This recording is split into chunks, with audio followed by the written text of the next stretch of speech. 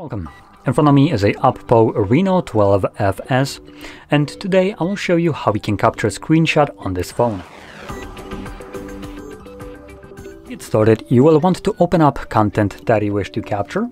I'll be using home screen as an example for this, so it's already open and visible on my screen. Once that's the case for you, meaning the content that you wish to capture is open and visible on your screen, simply hold your power button and volume down at the same time. You'll have the sound along with the pop-up. First time around it also gives you the uh, info right here that you can capture screenshot by just uh, doing a three finger swipe or hold and like do a partial capture, stuff like that.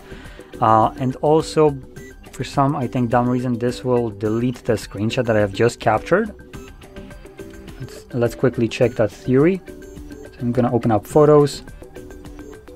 Oh, nope, there it is, so didn't delete it.